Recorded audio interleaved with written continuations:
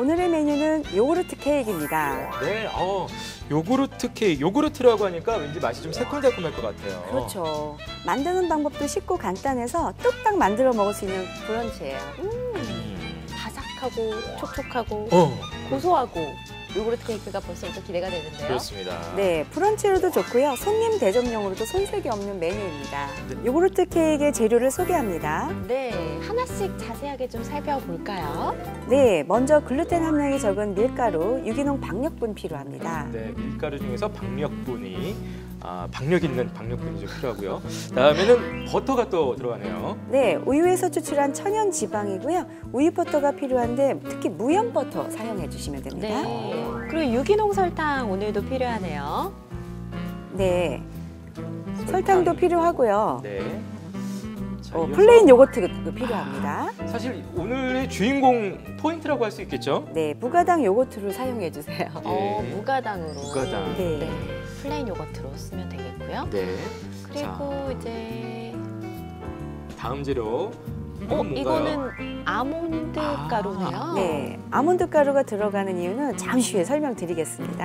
야, 아몬드 가루가 색깔이 저렇군요. 자, 이번에는 베이킹 파우더가 나오고 있습니다. 네, 베이킹 파우더는 그 팽창제 중에 알루미늄이 없는 주석산으로 대체해 주시면 됩니다. 네. 음.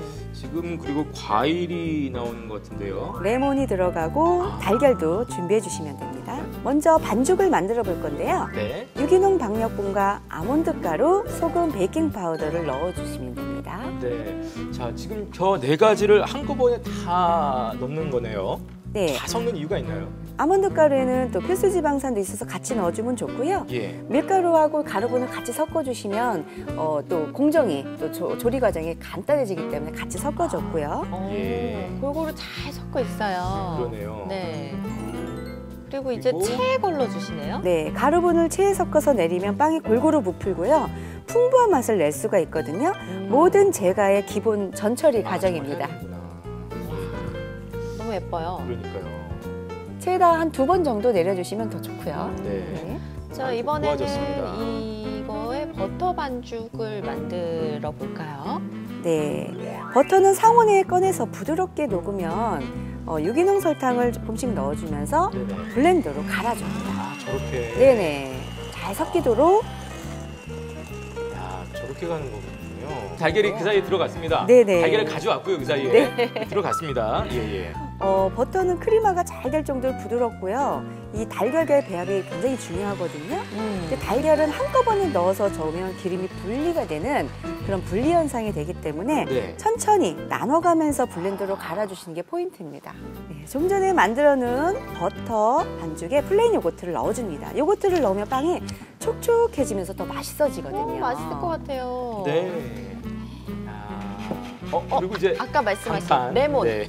레몬이 네. 이제 필요하네요. 레몬은 소금으로 깨끗하게 씻어서 물기를 제거해 주시고요. 강판이나 치즈가리의 노란 껍질 부분만 갈아주시면 됩니다. 네. 네. 자. 너무 상큼하겠다. 그렇습니다. 한 개 분량이 한 큰술 정도 나올 거예요. 네.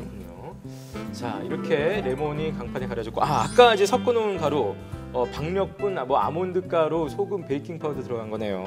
네, 이제 가루분까지 넣어주시고요. 11자로 치면서 골고루 자. 섞어주세요. 음. 그러니까 너무 치대면서 하지 마시고요. 날가루가 살짝 보일 정도입니다. 아, 날가루가 이렇게 보이죠? 네. 네. 반죽이 잘 됐으면 음. 케이크 트레이 이제 넣어줄 거예요. 반죽을 부어줍니다.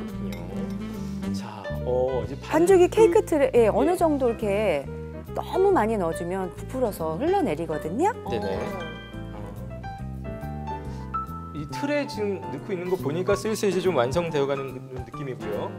어, 그럼 이제 저거를 틀의 모- 어, 모양을 잡아준다면 오븐에 넣으면 되겠네요. 네, 맞습니다. 예, 예. 예열된 180도 오븐에서 네네. 50분간 구워주면 됩니다. 아, 50분 정도. 집안이 뭔가 이렇게 맛있는 빵 냄새로 가득할 것 같은 느낌이 들어요. 네, 야. 아우, 냄새 아이들이 너무 좋아하죠. 좋아할 것 같아요. 빵 굽는 냄새는. 네. 네네.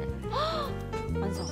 빵 구울 때는 뭐 특별히 좀 유의할 사항이 없을까요? 빵을 굽다가 위는 이렇게 익는데 속은 안 익을 경우가 있거든요. 그래서 네네네. 빵 위에 종이 오일을 덮어주시고 음. 그러면 타지 않고 골고루 익을 수 있습니다.